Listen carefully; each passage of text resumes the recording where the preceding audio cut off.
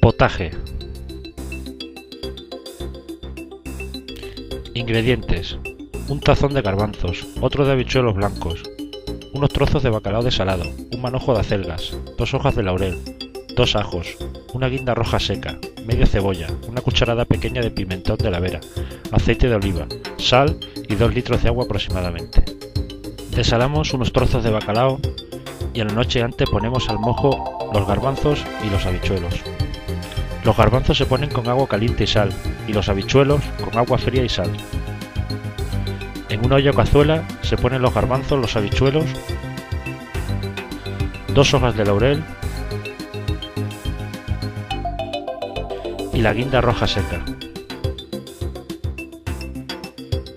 Añadimos más de un litro de agua y ponemos a cocer lentamente.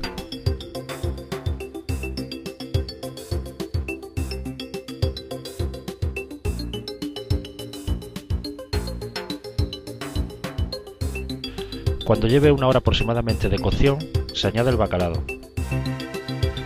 Añadimos posteriormente las acelgas. En una sartén pequeña con aceite de oliva freímos la media cebolla. Añadimos a la sartén una cuchara pequeña de pimentón de la vera. Freímos el pimentón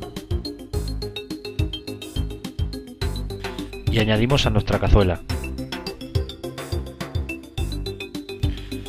En un mortero machamos dos ajos con una poca de sal. Añadimos al mortero la guinda roja que habíamos echado previamente en la cazuela. Lo machacamos.